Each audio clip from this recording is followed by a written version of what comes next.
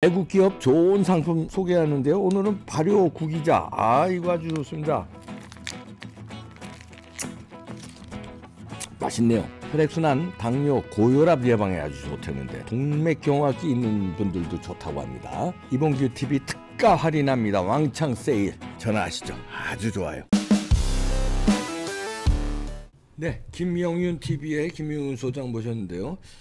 자, 이 국힘 내에 이 반란 세력들이 아, 꿈틀꿈틀 언제나 그랬듯이 총선 지니까 때는 이때다 뭐 난리가 났습니다. 그러니까 음. 이제 총선 후에 빠르게 움직였던 사람 중에 가장 대표적인 사람이 이제 유승민, 네. 유승민계.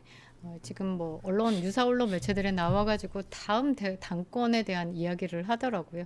그러니까 세복의 연탄가스가 이제 스멀스멀 올라오면서 국민의힘을 좀 뒤덮고 있는데 아슬아슬한 사람들 많지 않습니까? 음. 총선 후에 뭐 최상병 특검에 대해서 찬성한다라고 나온 사람들만 해도 음. 손이 다섯 손가락 안에 꼽히는데, 그러니까 이들이 지난번에 했던 식으로 반란표 여덟 표만 잡아도 음. 가능하잖아요. 그렇지. 거기에 지금 제가 어떤 네. 사람이 이름이 나와서 좀 분노했냐면요. 네. 김무성이 나왔습니다.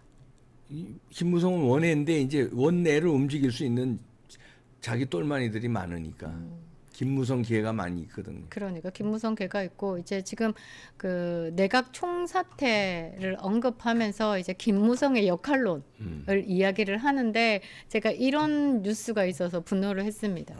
역대급 여소야대 역대급 여소야대 속에서 해법은 협치다. 이건 누구라도 아는 거죠. 그러나 그 협치를 김무성과 박지원 때처럼 하라.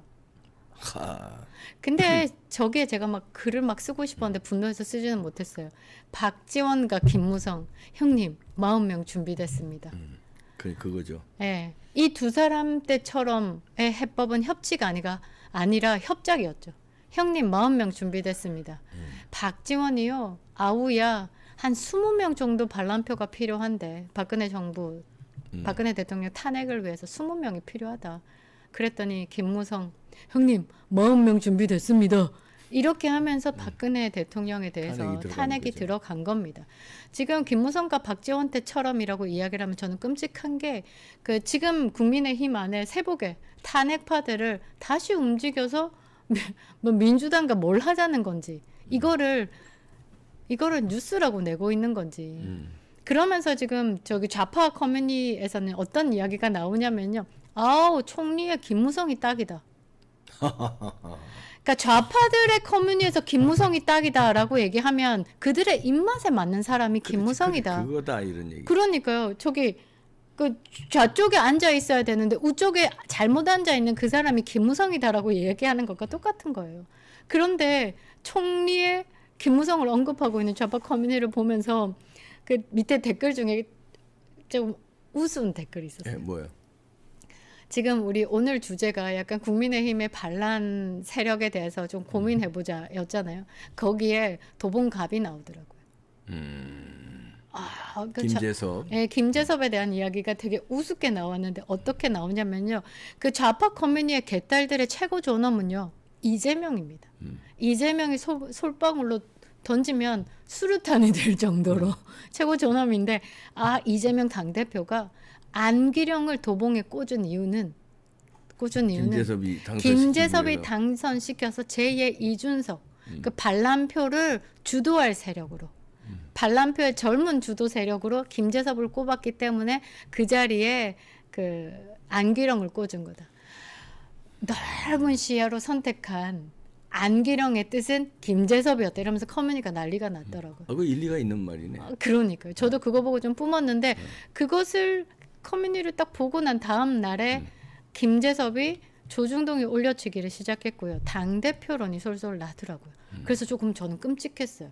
이 좌파들의 정보력 이게 뭔가 싶은 생각이 음. 들더라고요. 그러니까 거기를 무시할 수가 없어요. 근데 거기서 어, 나오는 말들이 어, 주로 이 국민의힘의 반란 세력들을 키우기 위해서 또 모략질을 하고 있더라. 그렇지. 그러니까 박지원과 김무성 때처럼 협치가 아니라 협작을 꿈꾸고 있는 국민의힘의 반란 세력들 지금 꿈틀꿈틀 하고 있다. 지금 최상병 이야기를 언급했죠. 김재섭도 당선되자마자 최상병에 대한 특검 수용해라. 김건희 여사에 대한 특검도 전향적일 필요가 있다라고 이야기를 하면서 이제 좌파들의 커뮤니티에서 이야기를 했던 그런 이재명 당대표의 앞을 보는 시각에 정말 김재섭일까? 이런 생각이 들더라고요. 그 다음에 저는 두 번째로 요즘에 연일 발정을 일으킨다라고 이야기를 또 하던데 누구? 홍준표 대구시장을 아, 이야기를 해봅니다. 홍발정. 아, 네. 그, 왜 그 발언을 예전에 있었던 거라고 보는데 대구시장이 연일 한동훈 비대위원장을 꺾으려고 지금 너무 맹비난 조롱에 가까운 비난을 하는데 이게 너무 빠, 빤히 보이는 거예요. 한동훈 비대위원장이 차기 대권 주자로서 이재명과 붙었을 때 40%로 비등비등 하니까 본인은 3, 4% 나왔잖아요. 그러니까 이제 정적 제거 차원에서 한동훈 비대위원장부터 한, 한 놈씩 꺾어가자 이렇게 하면서 진행을 하는 건지 모르겠는데 한동훈 비대위원장에게 뭐 이거는 발언 수위가 굉장히 높더라고요. 예. 저래야 저 신문 방송에서 써주고 이러니 그런 것도 선수예요. 아, 아, 그러니까 내용이 굉장히 자극적인데 약간 이준석도 생각이 나더라고요. 그 10일 날에는 뭐 깜도 안 되는 한동훈이 들어와서 대권놀이 했다. 정치 아이돌로 착각하고 셀카만 찍었다. 말 안 먹었다. 이런 발언을 하더라고요.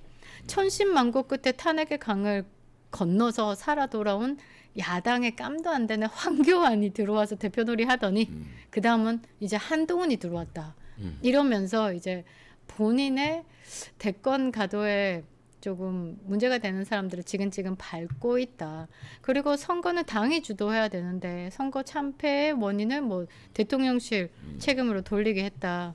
이 부분에 대해서 문제가 있다. 이번 선거는 한 번도 선거를 치러보지 않은 사람이 주도해서 치른 것으로 오로지 철부지 정치 초년생 하나가 셀카 찍으면서 나홀로 대권 노래를 한 것이다라고 이제 비난을 하 쏟아내는데요. 여기에 김경률의 또 그 가벼운 입이 음. 아유. 아유 막 이거는 그냥 개싸움이라고 봐야 되겠죠. 아 지금 홍준표 대구시장의 이 증상은 대통령 강형욱에게 답해야 된다. 그 말은 지금 개발적 난 거다. 그러니까. 이게 얼마나 학급으로 그러니까 저는 뭐 속이 시원한 발언이다라고 또 편이 갈려서 이런 식으로 또 이야기를 하던데 그냥 그 발언의 수위를 떠나서 발언의 질적으로 굉장히 낮다라고 봐야 되는 거죠. 이게 좀 젠틀한 방법으로 그렇게 했으면 아니 뭐 허허 뭐 대권의 차기 대권 주자로서의 뭐 경쟁이 경쟁심으로 이렇게 하시는 것 같은데 조금 자제를 해달라 면 지금은 선거를 빨리 총선 패배에 대해서 더 좀 정리를 하고 우리가 나가야 될 길이다라고 이야기를 해야지. 아 그런 식으로 하면 뉴스가 돼요? 뉴스가 안 되지.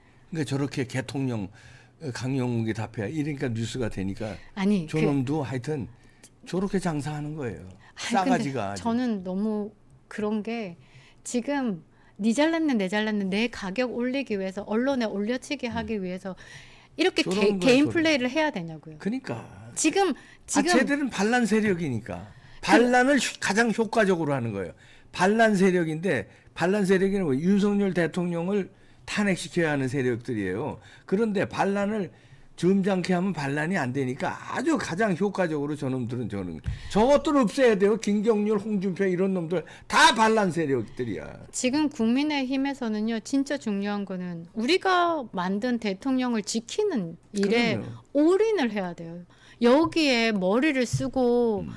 물론 그 지도자가 잘못된 길로 가고 있다라고 하면 바지 끄댕이 잡고 좀 땡길 줄도 알고 이러면서 정말 그 충정심에 음. 움직여야지 자기 살 길 생각하고 있고 내가 다음에서 어떤 정치줄을 잡을지 생각하고 있고 언론에서 내 얼굴 팔겠다 이런 짓 하는 사람들은요 윤석열 그럼. 대통령 탄핵을 외치는 민주당에게 상관이 없는 거예요. 그럼요. 내만 정치 안에서 살면 돼. 5년, 뭐 3년 금방이고 나라 안 망하니까 이런 생각하고 있는데 윤석열 탄핵을 외치는 민주당이 집권을 하면요 나라 망합니다.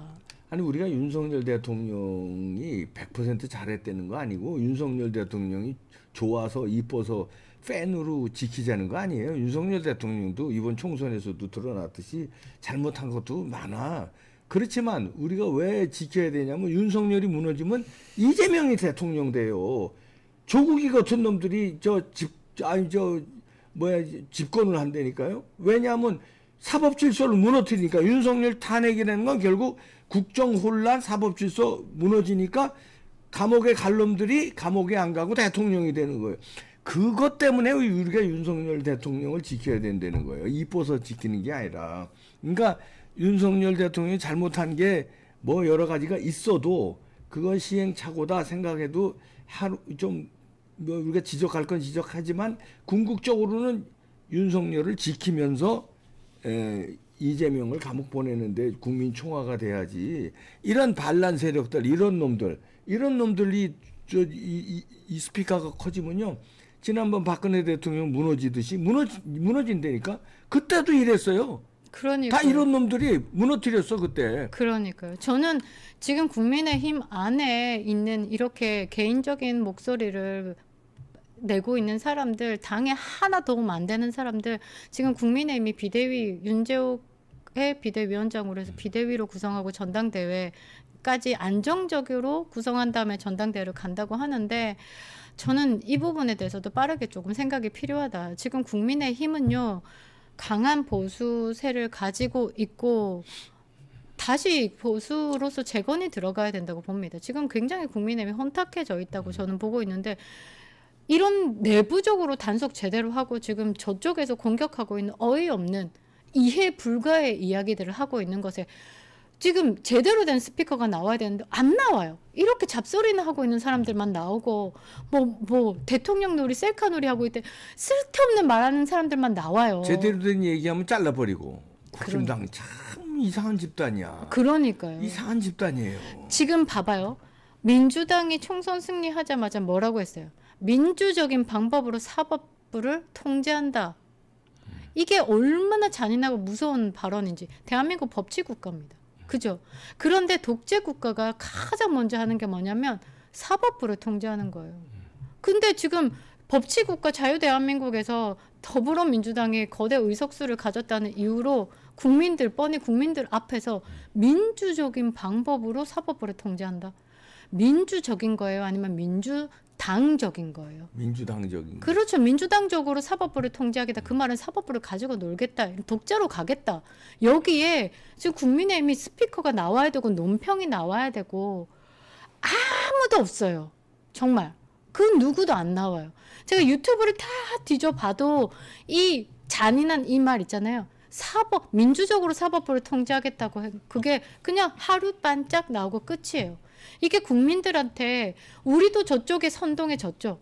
우리도 제대로 된 선동을 해야죠. 나쁜 쪽으로 선동이 아니라 국민이 올바른 생각을 할 수 있는 쪽으로 선동을 해야 되는데 그렇게 선동할 스피커가 없어요. 아니 스피커들이 있는데 저쪽은요 김어준 같은 스피커들을 민주당에서는 키우고 좌파에서는 키워요. 근데 우파에서는 그런 스피커들이 있는데 스피커들을 이 음모론자라고 몰고 그다음에 이제 극우라고 몰아버려요. 그리고 당에서부터 대통령실조차 당에서부터도 이렇게 어유 아 뜨거. 아이고 저 사람들 얘기 듣다가는 큰일 난다. 이렇게 몰아버리니까 저쪽은 좌파 스피커들을 막 예우 유시민 김어준 등등등등 막 예우하는데 이쪽은 죽여버리니까 그냥 유튜브에서 떠들기나 하는 거지 뭐 하나 뭐 말을 듣기를 해요? 아니면 뭐 누가 하나 뭐 인정을 해주기를 해요? 다 그럼- 잘라버리고. 그러니까 그때 우리가 이준석이 이게 좌파 뿌락지라는 걸 확실하게 알아야 되는 게 그러니까. 그때부터 이준석이 틀딱 뭐 코인파리 뭐 극우 음. 이런 프레임들을 누가 잡았냐? 보수 내 당대표 보수가 이준석이 잡았어요, 잡았어요 보수가. 이준석이. 어. 그러니까 아 이게 국힘의 최고 트로이 목마 이게 다시 금배지를 달아서 지금 윤석열 대통령을 향해서 지금 화살을 쏘아대고 있는데 이거 지켜내야 음. 되는 거거든요 국민의힘이 저는 국민의힘이 우파 스피커부터 키우고 저들의 저질 선동에 고급지게 선동으로 막아야 됩니다. 보수가 보수다워야지. 그럼요. 저쪽은 좌파가 좌파답게 싸우잖아요. 그렇죠. 우리는 좌파를 때려잡겠다고 싸워야지. 좌파 흉내를 내면은 지는 거 아니에요. 아, 그럼요. 5.18에 기대고 아, 5.18 헌법 전문에 넣겠다 그러고 좌파 출신들 김경률이다 한문경이다 모셔놓고 그다음에 유, 유승민계의 막 정책위장 이런 놓고 우파는 다 죽여버리고 그러면 좌파 흉내 내면 좌파한테 이겨요? 우파의 힘으로 좌파를 누를 생각을 해야 되는데 우파는 극으로 몰아버리고 좌파 비스무리한 놈들로 대표 선수로 채우고 할래니까 그건 질 수밖에 없는 거예요. 남 흉내나 내는데 지, 오리지널 너훈아가 나훈아 이겨요? 너훈아 갖다 놓고선 콘서트 하자는 거예요. 저쪽은 진짜 나훈아가 있는데 그러면 이쪽에는 남진을 내세우든지 이미자를 내세우든지 조용필을 내세워야 되는데 저쪽 나훈아가 있으니까 이쪽은 너훈아 가지고 돼. 그럼 100번 지는 거지. 왜 우파를 죽이고 왜 좌파 흉내를 내는 놈들로 하나 감싸고 하려고 그러냐고. 다, 우파 다음을 회복해. 누가? 대통령부터 회복해야 되고요. 우파 다음을. 대통령은 지금 하고 있어요. 우파 다음을. 근데 그걸 극우라고 몰아버리는 이 저 국힘당 뭐가 극우냐? 너, 뭐가 극우야? 어? 그러니까. 너네가 배신자들이고 너네가 얍삽한 놈들이지 뭐가 극우야 극우가 우리가 언제 수류탄 터뜨렸어 언제 우리가 저 저 짱돌을 들어서 폭력을 동반해야 극우고 국가 체제를 전복시키려고 해야 극우야. 우리가 언제 전복시키려고 그랬어? 광화문에서 몽둥이 하나 안 들었는데 언제 극우야 우리가? 도둑놈의 새끼들 아주. 배신자 새끼들이야 국힘당 놈 새끼들 전부 다. 그래서 우리가 찍어주잖아. 이번에 나도 찍었어 놈들아. 찍었어. 그런데 전호구선도 하는 얘기가 그것 때문에 졌대요 또. 아유 도둑놈 새끼들이 아주 아, 네. 그래서 이번에 국민의힘의 전당대회는요, 진짜 보수, 찐 보수를 회복해야 되는 그런 세력을 당 대표로 만들어야 된다. 그 다음에 수도권 지역에서 승리한 사람. 네. 저는 사실 한 사람이 생각이 나긴 하는데, 누구요? 아, 아니 뭐그 얘기해 주세요. 아, 진짜. 그그 얘기해도 돼. 지금 당권 도전하시는 분들이 아, 뭐, 당권 도전. 뭐 네. 안철수, 김태호, 나경원, 김재섭은 좀 제낍시다. 아이 그거, 아이, 그거 정말. 배신자 같은 놈인데 이준석 똘만이에요 그거. 하여튼 지금 이제 살아 돌아오시고 총선에서 승리하셨고 근데 제가 여기서 가장 이제 관심 있게 보는 분은 나경원 음. 어, 나경원 의원인데 왜 이재명이 그나마 투사적인 기질이 좀 있어. 그렇죠. 근데 이제 나경원 이제 요거는 이제 털었어요. 나경원을 이제 보수 우파들이 전폭적으로 지지했다가 왜 살짝 그랬냐면 윤석열 대통령의 뜻을 윤석열 대통령 그거거든요. 음. 저출산 문제, 기후 문제가 가장 중요한 문제라고 생각해서 대통령 되자마자 이걸 나, 나경원 의원한테 맡긴 거예요. 그랬더니 그거를 잘했으면 지금 완전 대권 주자로 떴어 나경원 의원이. 근데 당 대표 하겠다고 욕심을 부리니까 우리 우파들이 아니 저출산 문제가 이게 더 심각한데 왜 당권을 자꾸 욕심을 부리느냐? 그거 해결하고 나중에 당권이든 대권이든 하라는 건데 너무 급했어 그때. 그러니까 근데 또 뭐 없으니까 그 나경원밖에 없다 그러고 다시 이제 우리 저 김영우 소장뿐 아니라 나도 지금 나오는 인물 중에선 그래도 나경원이 제일 나은 것 같아요. 그렇죠. 보수의 정통을 회복시킬 수 있고 그리고 저는 어디에 가장 포인트를 두냐면요. 이재명이 전 그 총선 전날까지도 그곳을 여덟 번이나 찾은 이유는 이 나경원을. 완벽히 바, 밟으려고 했는데 나경원 의원이 이제 그렇지. 어, 승리를 했죠. 이것에 대한 생각을 좀 해보면 민주당에서 가장 꺼려하고 보수를 어, 보수 정통성을 회복시킬 수 있는 사람은 나경원 의원으로 저도 동감- 봤기 때문에 동감이에요, 저도. 다른 지역도 아니고 그 지역만 주구장창 여덟 번을 갔다는 거 동감해. 이것에 대해서도 국민의힘에서는 뭐 전이 어떻든 후가 어떻든 앞으로의 국민의힘의 미래를 봤을 때는 가장 음. 지금으로서는 지금으로서는 가장 베스트하지 않을까 최선 아니면 차선이라도 선택해. 그래. 지금 지금으로서는 베스트의 정치 경력도 많고, 네네네. 예, 그러니까 그리고 과거에 투쟁한 경력도 많아요. 이분이 또 투쟁할 땐 또 제대로 투쟁해요. 음, 그러니까 예. 그거 갖고 지금 또 뭐 재판을 받고 있다면서 민주당이 뭐. 공격을 하는데 민주당이 공격하는 그 그건 잘 안 되는 거야. 그렇죠. 민주당이 씹어 제낀다 이러면 잘하는, 잘하는 거. 거예요, 그거. 네네네. 그래서 그런 걸로 포인트를 좀 주다 보면 음. 나경원 의원 옆에 아마 별이 좀 많을 겁니다.